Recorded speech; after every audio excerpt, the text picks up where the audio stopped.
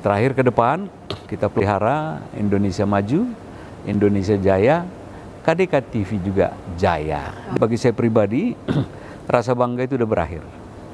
Dalam artian, kalau tidak ada Kamarudin Kamarudin Simanjuntak, bayangkan dunia hukum itu terbalik. Dan satu lagi, jajaran kru KDK TV, kami udah kasih dia sertifikat sarjana ekonomi, dia mau hantarkan besok mahasiswaku sarjana hukum. Inilah hebatnya Undang-Undang Dasar 45 salah satu intinya adalah Indonesia negara hukum. Bahasa Batamnya restat. Bukan negara kekuasaan. Lumpuh dia.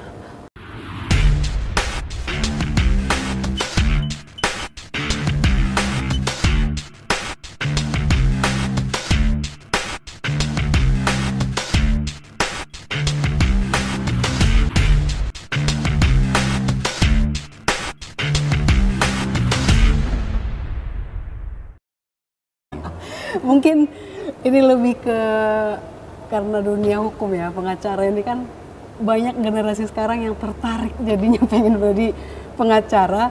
Tapi pasca covid itu kan banyak jadinya generasi yang untuk mengembalikan era yang sebelumnya agak susah udah nyaman era rebahan. Mungkin gini kita sangat semangat tadinya ada tokoh-tokoh nih. Tapi ketika sudah jalan down bibit-bibit itu timbul tenggelam gitu gitu. Ada tips tersendiri nggak Amang supaya on fire terus gitu? Baik. Hampir tiga tahun kita ya didera sama COVID. Iya. Takut terhadap segalanya. Kadang ketemu Tuhan pun jadi sulit. Karena di antar kekuburan pun nggak ada orang datang. Tapi saya belajar dari Pak Kamarudin, Bapak udah saya Martin. Jadi begini, kenapa kehidupan kita dipenuhi oleh daring dan luring? Dari, ya. Nah, dari sana ambil makna Apakah ini bisa menghemat ongkos dan sebagainya? Dan memang perekonomian terancam. Saran saya kepada generasi muda, kebenaran saya melahirkan sebuah PP 38 tahun 2017 tentang inovasi. Inovasi di daerah. Di depan kalian ini bidannya. Apa isinya? Setiap orang sekarang gampang berinovasi dan saya ambil dua kata kunci, saya ingatkan PP itu, itu dari Undang-Undang 23 2014, ya. Tid, setiap orang berinovasi saya tidak dapat dipidana. Ah itu dia. Dulu kau kerjakan begini udah datang dari alat penegak hukum. Iya, iya. Ayo, tadi saya dengar tidak ada amplop, tidak ada itu. Ah, di zaman kalian, di zaman kami transisi nggak boleh. Hanya kami nih yang nggak terkontaminasi uh, di peradilan kemarin itu. Selebihnya udah lihat posisi tawar, ada yang di bawah tanah, ada yang di atas langit. Saya jamin berdelapan kami. Semua dibiayai oleh Pak Kamarudin. Saya aja bayar sesuatu dimarahin aku. Aku punya loh. Kalau dibilang di, saya gurunya ya dulu. Sekarang udah profesor dia. Sudah memahami segalanya. Profesor itu kan bukan apa jabatan uh, akademisi aja bukan ada yang dikejar di situ. Nah, saya ulangi. Yang kedua, ketika tuan-tuan puan-puan berinovasi, pemerintah wajib wajib ini tangan saya. Pemerintah pusat, provinsi, kabupaten, kota. Kita ingat supaya jangan korupsi dia. Wajib memberikan award penghargaan. Jadi inovasi tadi, saya senang generasi muda sekarang apa istilahnya itu dia bekerja hanya bawa laptop, datang dari perusahaan, sebut aja selam burger apa, pergi dia. Ke Swedia sebulan, pergi lagi ke Manokwari, pergi lagi ke mana. Wah ini model-model kehidupan bagus. Mulai hari ini, begitu naik apa kalian debitnya ini sampai satu juta, udah nggak usah masuk rekening kami kalian aja ya kalau kami nggak nggak nggak tahu kami tiga mentek tok kalau nggak beliau dua juta di uh, sebuah media hebat saya satu juta dua ratus. Putri saya nanya, Didi mana duitnya? Nggak ada, saya bilang. Kaget dia. Biar naik ya, jangan hanya sianturi nabonggal itu. Nah di sini harapan kita saling menolongnya Pak. Begitu kalian share, saya akan bilang, bapakmu kemarin di KDK TV. Intinya ini ini, pencet. Apa namanya? Bunyi lonceng. Nah, bunyi per, pergedela itu ya. Itu harus Dan di situ plusnya, apalagi ada ada. Nah komunikatif tadi memang dia melupakan kiri kanan. Hanya yang dekat dia saja ya. Kiri kanan ini bisa opung, bisa ilahi, Elohim itu. Ini ini harus sosialisasi. Entah kenapa. Saya dengan putra saya ketemu kami kalau dia butuh aja. Hingga kadang ku kasihlah dia katopat Bangkahulu kan ini. Kalau dulu di zaman saya bapak kami, selamat pagi dia bilang aja menghardi, kami sudah siap. Berbeda sekali nih. Ini bisa satu hari satu malam kita ceritakan, nanti udah Martin jadi ngantuk dia, lupa dia jamita berikutnya. Ini yang coba kalian rangkum, kami udah katakan kami 50 tahun ke atas. Tapi kami tidak akan melupakan ke belakang, pepatah kawan, kita gendong ponakan, anak juga kita berangkatkan. Nah terakhir, apa yang harus kita bilang plus minusnya memang ini pas kita hidup di zaman transisi. Kami nggak bisa memaksa sesuatu, kami bisa nggak bisa menjanjikan, tetapi kami berbuat. Inilah di zaman ini hukum sudah hidup. Ini dulu ya. Nanti ekonom kayak kemarin udah gara-gara seseorang jadi malas bayar pajak. Jangan. Saya ikut mensponsorinya itu. Yang salah itu salahkan. Tadi beliau mengajarkan ke kita Hanes TV Vere tadi kuikum uh, tribuere sum kui kui mana yang menjadi hak, mana yang menjadi kewajiban, tidak boleh menyiksa orang. Nah, ini aja saja pidana perdata. Jadi mana yang uh, kehidupan jujur ini terpelihara. Dari Pak Martin. Yang pasti kan kalau kita jadi advokat kan sebenarnya cuma dua modalnya. Yang pertama adalah kemampuan. Kalau kemampuan itu isinya banyak ya, ada keberanian, kemampuan dasar mengenai uh, apa namanya logika hukum ya. Lalu yang berikutnya adalah kesempatan. Cari ini dua. Nah, kalau tadi dia bilang uh, bagaimana sekarang generasi sekarang ini maunya generasi rebahan segala macam, kembali lagi tidak ada kenikmatan tanpa perjuangan. Ya. Jadi kalau mau hebat ya harus berjuang, Siap. harus capek dulu, harus sakit dulu, harus diinjak-injak dulu dan diproses. Nah, bagusnya ya karena perkara Joshua ini kan sekarang kita melihat bahwa e, tembok besar yang awalnya dianggap orang itu tidak bisa dirubuhkan, ya ternyata, ternyata bisa. bisa. Ya. Nah, gunakanlah momentum ini untuk kita berkarya masing-masing di daerah kita. Jangan pernah takut dengan kekuasaan, karena kekuasaan itu ya ada batasannya. Yang paling penting itu dan yang paling mutlak itu adalah kekuasaan Tuhan dan kekuasaan rakyat. Nggak ada itu kekuasaan penguasa, karena nggak akan ada penguasa kalau tidak ada rakyat dan teritori. Suara rakyat ya. Itu aja intinya dari saya. Terima kasih. Oke, luar biasa ini berbicara integritas luar biasa. Baik, terima kasih untuk KDK TV uh, atas kesempatan yang diberikan untuk bisa ngobrol langsung dengan Bang Kamarudin, Opung uh, Martin dan juga uh, Bapak Tua Dr. Nelson.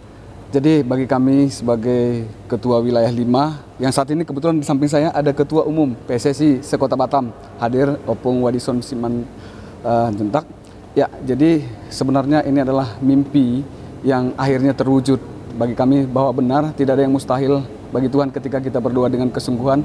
Kami ini salah satu bagian daripada PSSI yang ada di Kota Batam berdoa, bermimpi sekiranya hadir tokoh Simanjunta yang selama ini banyak menjadi perbincangan karena memang kejujuran dan integritas dan bagaimana keseriusannya untuk membela yang benar.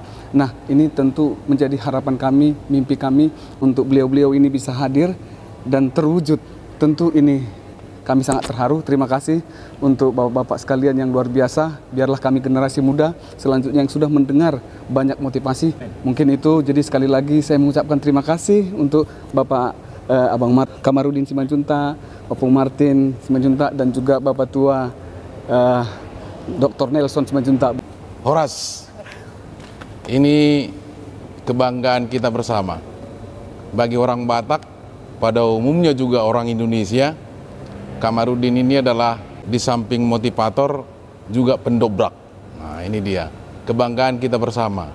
Jadi kami di Kota Batam mengucapkan selamat datang di Kota Batam. Pak Nelson, Pak Dr. Nelson, juga Pak Martin, saudaraku, Selamat datang di Kota Batam.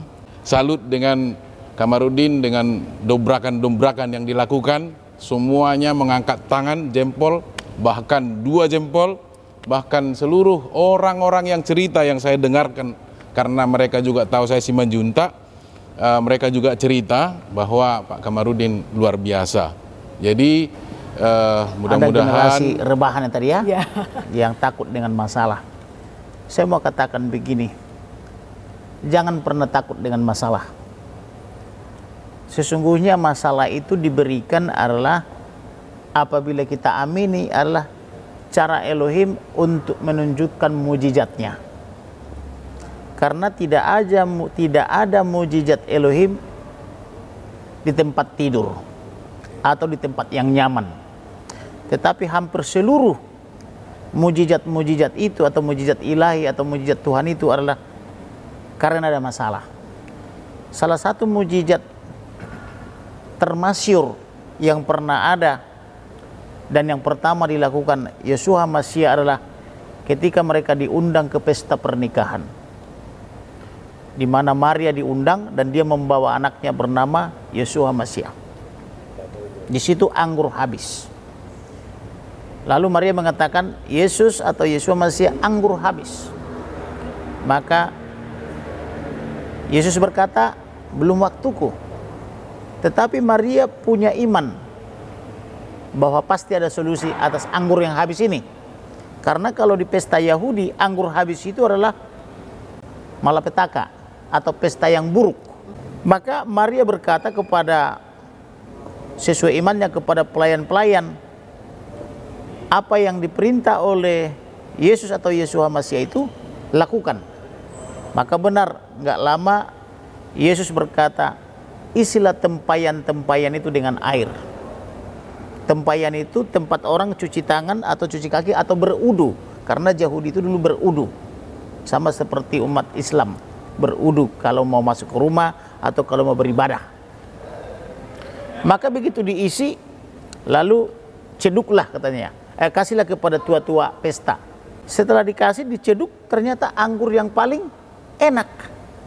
Maka dia bilang, biasanya orang kalau berpesta dikasih yang terbaik dulu. Baru yang tidak baik belakangan. Tapi ini mulai dari awal sampai akhir, kok anggurnya semakin hebat, semakin enak, semakin baik kan begitu. Artinya apa? Ketika ada masalah, undang Yesus atau Yesua Masih ke dalam masalahmu, ke dalam rumah tanggamu. Ketika kamu pacaran, tentu semua indah. Anak-anak muda tuh indah semuanya. Ketika baru berumah tangga, indah semuanya. Karena masih baru berumah tangga. Tapi banyak orang setelah lahir anak, ketemu mertua, ketemu ipar, muncul masalah yang berujung kepada perceraian atau percekcokan rumah tangga.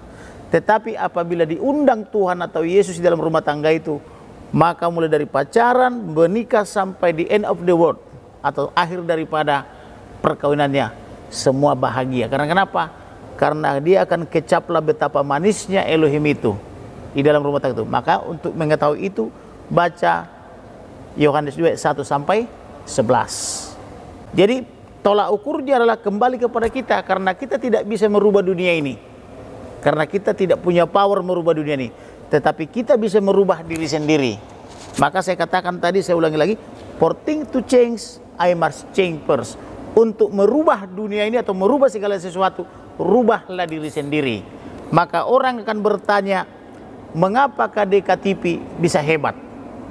Tapi kalau KDKTP mohon maaf terpuruk tidak akan ada bertanya apa sih rahasianya kok KDKTP terpuruk? Tidak ada yang nanya itu. Tapi kalau KDKTP misalnya pemirsanya besar ditonton oleh berjuta-juta orang misalnya atau followernya banyak sekali maka orang akan bertanya apa sih rahasianya? Karena if I got success the others will follow me. Kalau kita berhasil orang akan mengikuti kita. Tapi kalau kita gagal tidak akan ada orang yang mengikuti kita. Itu intinya. Jadi tolak ukurnya adalah di kita. Bukan di orang lain. Jadi dunia ini hanya dua bagian. Bagian saya dan bagian orang lain. Orang lain tak bisa kita rubah. Anak kita sendiri pun belum tentu bisa kita atur. Kan begitu? Padahal anak kita. Apalagi orang lain. Tetapi diri sendiri bisa kita rubah. Dengan kita bisa berubah menjadi lebih baik maka orang akan mengikuti apa yang kita lakukan itu. Sama seperti halnya sekarang. Karena kita misalnya menegakkan hukum dengan cara yang benar sejak kita menjadi mahasiswa di Pusbakum kampus. Kita terus berusaha menjadi sorotan publik. Kita bongkar dulu kasus IKTP Alkes Hambalang dan seterusnya. Dan seterusnya sampai kasus Joshua ini.